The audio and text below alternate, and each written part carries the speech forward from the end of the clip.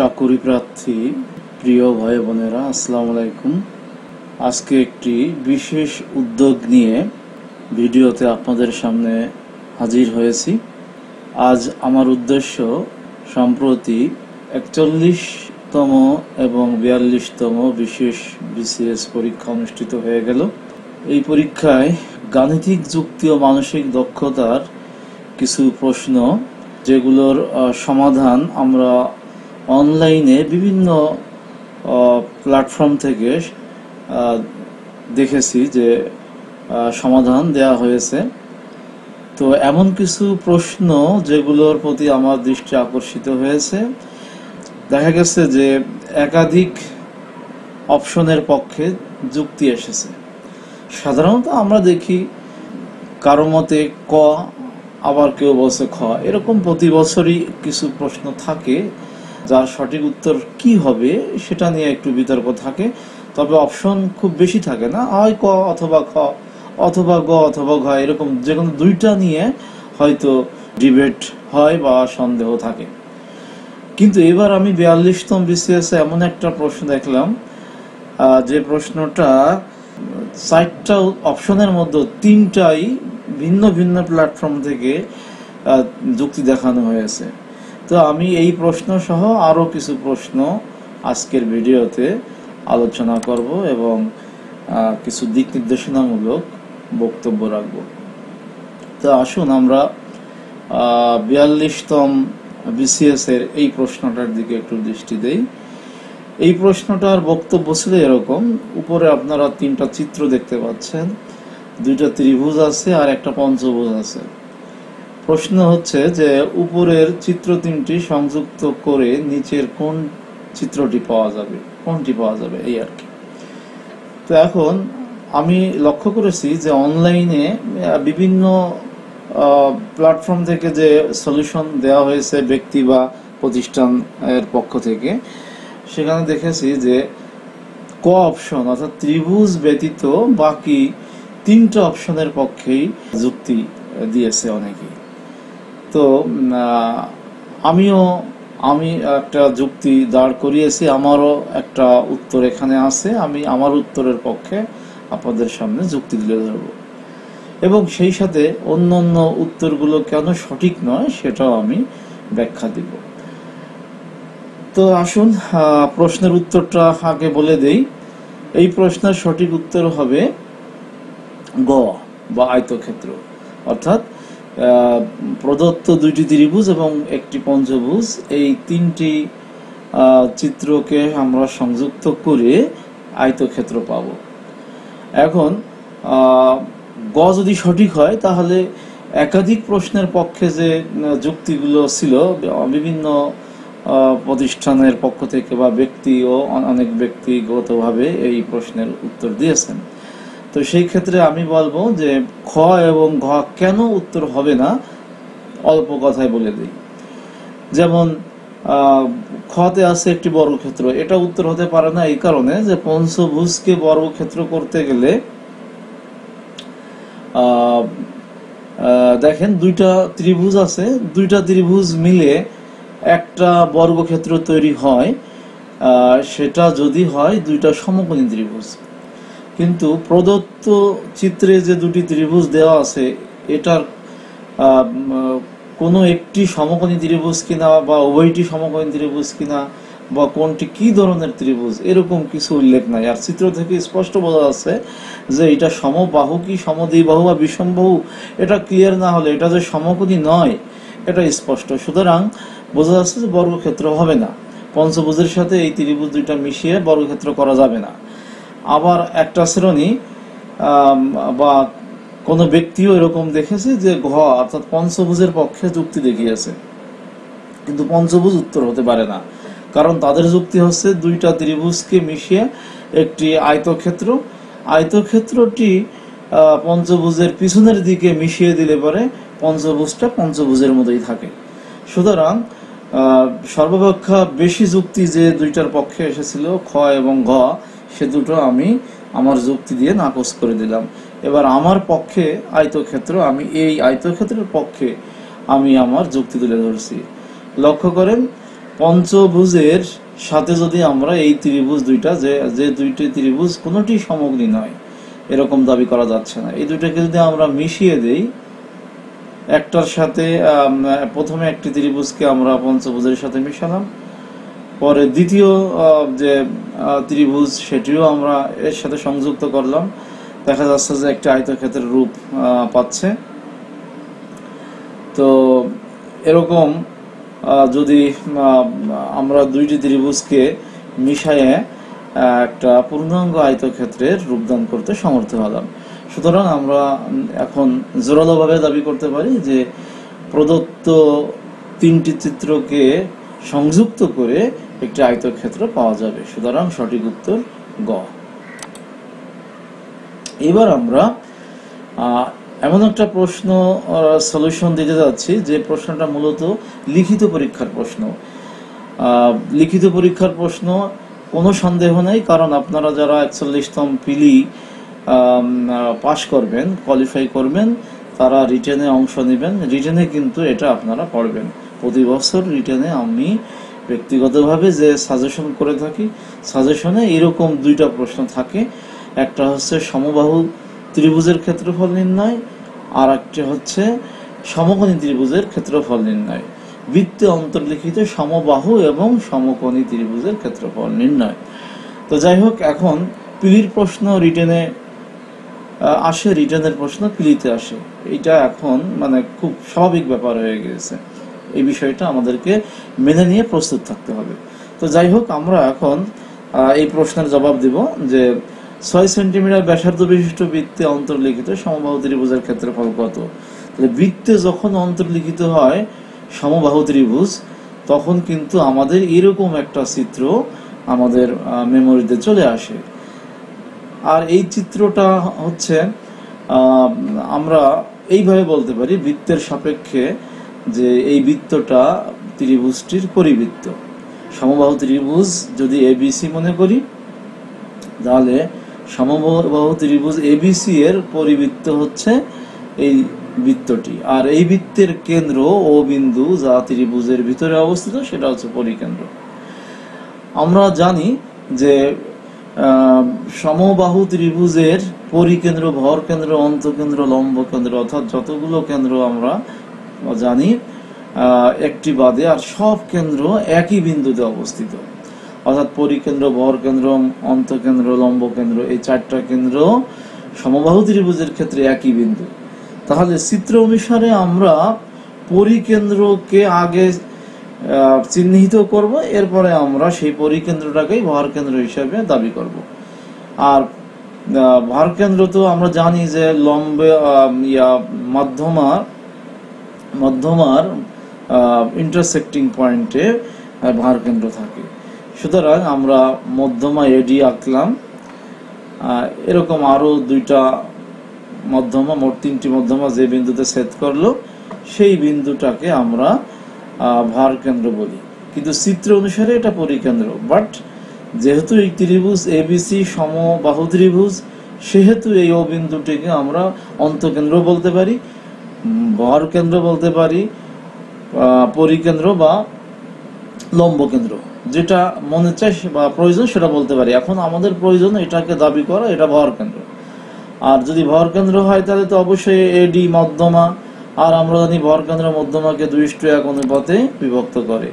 এই কনসেপ্টটাকে কাজে লাগিয়ে আমরা এখন গাণিতিক সমস্যার সমাধানে যাব। তো আমরা জানি যে ভর কেন্দ্র মধ্যমাকে দুই ইস্টু এক অনুপাতে ভাগ করে। তো এখন লক্ষ্য করেন যে ও বি হচ্ছে সিক্স সেন্টিমিটার কারণ এটা হচ্ছে ব্যাসার্ধ। এই পরিবৃত্তের ব্যাসার্ধ সিক্স সেন্টিমিটার তাহলে যদি ও এ সিক্স হয়, তাহলে এডি তো মধ্যমা। সেই ক্ষেত্রে ও এ যা হবে ওডি হবে তার অর্ধেক। সেই হিসেবে আমরা বলতে পারি ওডি হবে সিক্সের অর্ধেক, অর্থাৎ থ্রি সেন্টিমিটার সুতরাং ওডিকে আমরা থ্রি সেন্টিমিটার লিখতে পারি। তাহলে আমরা লক্ষ্য করতেছি যে সমকোণী ত্রিভুজ ও বিডি এর অতিভুজ ছয় আর লম্ব আছে তিন। এরকম একটা তথ্য আমাদের কাছে চলে এসেছে। এখন এটা সমকোণী ত্রিভুজ কি কেন দাবি করছি? ওই একই প্রেক্ষাপটে যে আমরা জানি সমবাহু ত্রিভুজের মধ্যম ভূমির উপর লম্ব হয়। এই কারণে এই ও বিডি বা ও ডিবি একটি সমকোণী ত্রিভুজ, যার অধিভুজ হয় আর লম্ব বা ভূমি, এটাকে আমরা তিন ধরতে পারি। তাহলে আমি এতক্ষণে যে কথাগুলো বললাম, সেই কথাগুলো আপনারা যদি নোট করে নিতে চান, তাহলে এখানে পরিষ্কারভাবে উল্লেখ আছে। এটা আপনারা নোট করে নিতে পারবেন। তাহলে আমরা এই চিত্র থেকেই কিন্তু সমাধান দেব। কথাগুলো জাস্ট রিটেনের জন্য আমরা লিখব বাট পিলির উত্তর দেওয়ার জন্য এই চিত্রটাই যথেষ্ট। তাহলে আমরা দেখতে পাচ্ছি যে ও বিডি সমকোণী ত্রিভুজ, যার অতিভুজ ছয়, আর লম্ব যদি ধরি ওডি কে তাহলে ওডি তিন। তাহলে পিথাগোরাসের উপপাদ্য প্রয়োগ করে আমরা বিডি কে নির্ণয় করতে পারি। পিথাগোরাসের উপপাদ্য অনুসারে আমরা লিখতে পারি BD square is equal to OB square minus OD square that is six square minus three square সেক্ষেত্রে আমরা পেয়ে যাচ্ছি BD is equal to three root three আমাদের, আমরা বিডি কেন নির্ণয় করলাম, কারণ আমরা জানি সমবাহু ত্রিভুজের ক্ষেত্রফল আছে root three by four into বাহু স্কোয়ার তাহলে বিডি যদি আমরা পেয়ে যাই, তাহলে বিডি কে দুই দুগুণ করলে বিসি পাবো, কারণ ডি মধ্যবিন্দু এডি মধ্যমা সেই হিসাবে আমরা সমবাহু ত্রিভুজের ক্ষেত্রফল root three by four into BC square তাহলে হিসাব করে আমরা দেখতে পাচ্ছি root three by four into বিসির মান তো আমরা পেয়েছি six root three whole square root three by four into six square that is thirty six R root থ্রিকে স্কোয়ার করলে থ্রি হয়। থার্টি সিক্সকে যদি ফোর দিয়ে কেটে দিই, নয় আসবে। তিন নং সাতাশ, আর রুট থ্রি থেকে গেল। সুতরাং আমরা পেয়ে গেলাম ছয় সেন্টিমিটার ব্যাসার্ধ বিশিষ্ট বৃত্ত অন্তর্লিখিত সমবাহু ত্রিভুজের ক্ষেত্রফল twenty seven into root three centimetre বর্গ সেন্টিমিটার তাহলে উত্তর ঘ। তাহলে আমরা এই একচল্লিশতম পিলিতে আসা সবচেয়ে বড় যে অঙ্কটা, চারটা অঙ্ক ছিল, রিটেনের অঙ্ক। এইবার ফোরটি ওয়ান বিসিএস পিলিতে। তো এরকম একটা অঙ্ক আমরা সমাধান করে ফেললাম। এবার আসুন আমরা আর একটা অঙ্কর সমাধান করি ফোরটি ওয়ান বিসিএস এ আসা। লক টু এই টু এর উপরে কিন্তু আবার পাওয়ার হিসেবে log root over e to the power e to the power two প্রশ্ন হচ্ছে এর মান কত? এখন সমাধান করতে গেলে আমাদের দুইটা সূত্র লাগবে। সেটা হচ্ছে, প্রথম সূত্র হচ্ছে আমরা জানি যে সূচকটা লগের কোফিসেন্টে পরিণত হয়। প্রথমে আমরা সেই সূত্রটা প্রয়োগ করব। তা আর একটা কাজ আমাদের করতে হবে, সেটা হচ্ছে যেহেতু লগের ভিত্তি হচ্ছে রুট ই সুতরাং আমরা দ্বিতীয় যে ইটা আছে পাওয়ার হিসেবে সেটাকে রুট হিসেবে আমরা প্রকাশ করব। তাহলে আমরা এটাকে এইভাবে লিখতে পারি ই স্কোয়ারকে আমরা লিখতে পারি root over e to the power four e square এবং root over e to the power four একই ফলাফল প্রকাশ করে বা একই ফলাফল প্রদান করে। সুতরাং আমরা যখন ই কে রুট দিয়ে দিলাম, সাথে সাথে পাওয়ার দুইকে চার করে দিলাম। এবার এই সূচক চার কিন্তু কফিসেন্ট আকারে লগের বাম পাশে চলে আসবে, গুণক আকারে। সুতরাং আমরা দ্বিতীয় লাইনে গিয়ে লিখব log two to the power four log root e to the power root e আমরা জানি ভিত্তি এবং শক্তি যখন সমান হয়, তখন কিন্তু আমরা এটাকে অন লিখতে পারি। সুতরাং যদি আমরা log root e to the power root কে অন লিখি, তাহলে আমরা পাচ্ছি যে লগ দুই V to the power two to the power four into one that is log two power four ফোরকে আবার লিখব টু স্কোয়ার তাহলে কি দাঁড়াল? লগ এই যে উপরের যে ছোট দুইটা দেখতেছেন সূচক, এটা আবার ওই একই ফর্মুলা এই ফর্মুলা অনুসারে আমরা বাম পাশে নিয়ে আসলাম। গুণক আকারে চলে আসলো গুণক বা সহগ আকারে চলে আসলো। আর থেকে গেল two into log two to the power two বৃত্তি আর শক্তি সমান হয়ে গেল। সুতরাং আবারও আমরা এই ফর্মুলা অনুসারে অন লিখতে পারি। অতএব আমরা লিখতে পারি যে log two to the power log root e to the power e to the power 2 is equal to 2 into 1 that is equal to 2 সুতরাং এই প্রশ্নের উত্তর দুই। দুই আছে ঘ অপশনে সুতরাং আমরা ঘ কে সিলেক্ট করলাম। এবার আমরা যে প্রশ্নটা নিয়ে আলোচনা করতে যাচ্ছি, এটা একটা আমি বলি সবসময় যে এই ধরনের প্রশ্ন একটু ভয়ঙ্কর বা বিপজ্জনক প্রশ্ন হয়। যে সমস্ত প্রশ্ন জটিল বা সময় সাপেক্ষে না করে উত্তর দেওয়া যায় না বা আমরা একটু দুর্বল, এরকম প্রশ্নকে আমরা ভয়ঙ্কর বলি না। কারণ আমরা এটা দেখলে বুঝি যে এটা পারব না, অতএব আমরা উত্তর দিব না। যেহেতু নেগেটিভ মার্কেটিং নেগেটিভ মার্কিং থাকে এখানে।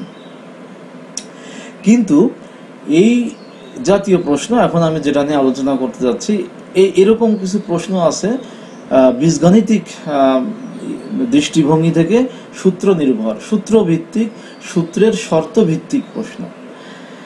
আপনারা নিশ্চয়ই জানেন যে একচল্লিশতম পিলিতে একটি প্রশ্ন ছিল সেটা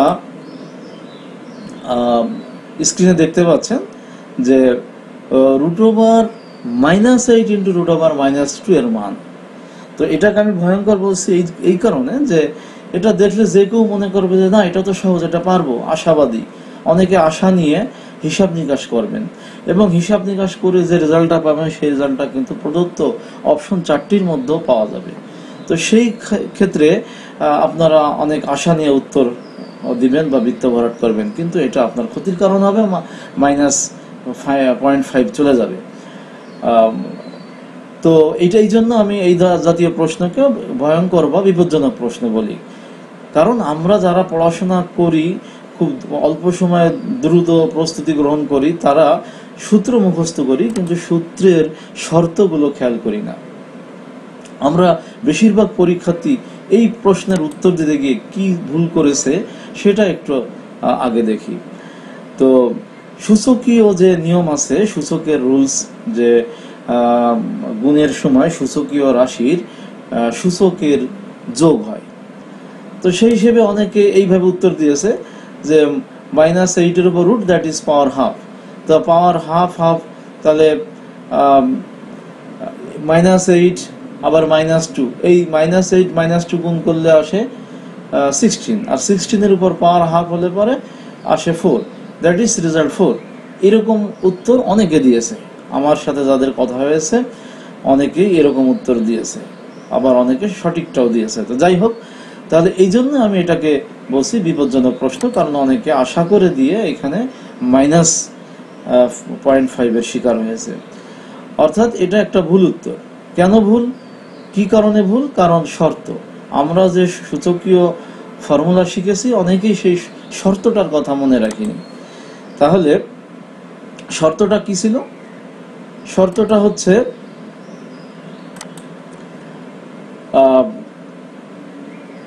ফর্মুলা বলতেছে root over x equal to x to the power half অর্থাৎ কোনো রাশির উপর যখন বর্গমূল চিহ্ন থাকে, তখন আমরা ধরে নেই ওই রাশির সূচক হচ্ছে হাফ কিন্তু শর্ত সেখানে থাকে। শর্তটা কি? শর্ত হচ্ছে এক্সের মান হতে হবে অঋণাত্মক, অর্থাৎ শূন্য অথবা শূন্য থেকে বড়। কিন্তু যে প্রশ্নটা একচল্লিশতম বিসিএস পিলিতে এসেছে, ওটা কিন্তু এক্সের মান ছিল শূন্য থেকে ছোট, অর্থাৎ ঋণাত্মক। এই কারণে আমরা সূচকীয় যে সূত্র প্রয়োগ করে চার উত্তর দিয়েছি, এই চার উত্তর দেওয়াটা ভুল হয়েছে। তাহলে সঠিক উত্তরটা কীভাবে হবে? সঠিক উত্তর এইভাবে হবে। Root over minus eight into root over minus two is equal to আমরা minus one into eight into root over minus one into two তাহলে কি দাঁড়াল? এই মাইনাস ওয়ানকে আমরা আই স্কোয়ার লিখতে পারি। এটা জটিল রাশির একটি ডেফিনেশন একটা আইডেন্টিফিকেশন যদিও বিসিএস এর সিলেবাস মূলত বাস্তব সংখ্যার সিলেবাস জটিল সংখ্যা এখানে নেই। তারপরও দুর্ভাগ্যজনকভাবে প্রশ্ন চলে আসছে জটিল রাশির কনসেপ্ট থেকে। তো যাই হোক, পড়ার কিছু নেই, এটা আমাদেরকে মোকাবেলা করতে হচ্ছে। তাহলে আমরা minus one is equal to i square লিখলাম। তাহলে আই স্কোয়ার ইন্টু এইট রুটের নিচে i square into eight into আবার root over i square into two আর এটা আমাদের মনে রাখতে হবে যে আই হচ্ছে কাল্পনিক সংখ্যা, যেখানে i square is equal to minus one তাহলে কি দাঁড়াল? এইটকে যদি আমরা ভেঙে দিই, তাহলে ফোর ইন্টু টু লিখতে পারি। আর টুকে তো ভাঙার কিছু নেই, মৌলিক সংখ্যা।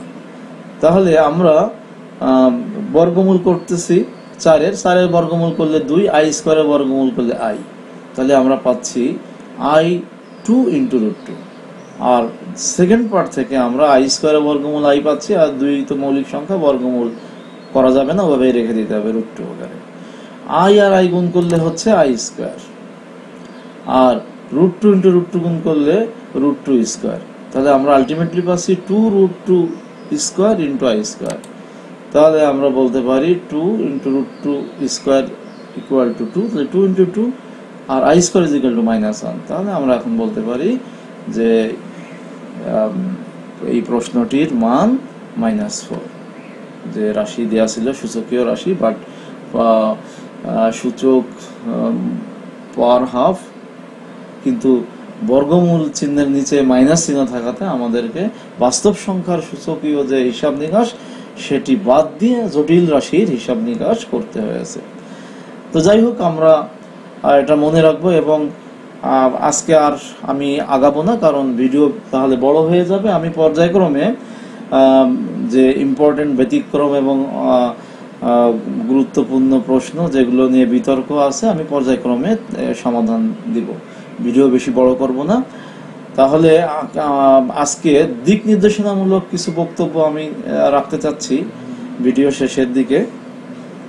সেটা হচ্ছে যে আপনারা লক্ষ্য করেছেন যে পিলির প্রশ্ন রিটেনে আসে, রিটেনের প্রশ্ন পিলি পিলিতে আসে। সুতরাং এমনভাবে আপনারা পড়বেন যাতে যে কোনো কোশ্চেন অর্থাৎ কোশ্চেন বড় হোক আর ছোট হোক, কোনো উত্তর দেওয়া সম্ভব হয়। দ্বিতীয়ত, আপনারা আরেকটা বিষয় খেয়াল করেছেন যে সিলেবাস কিন্তু ব্রেক হয়।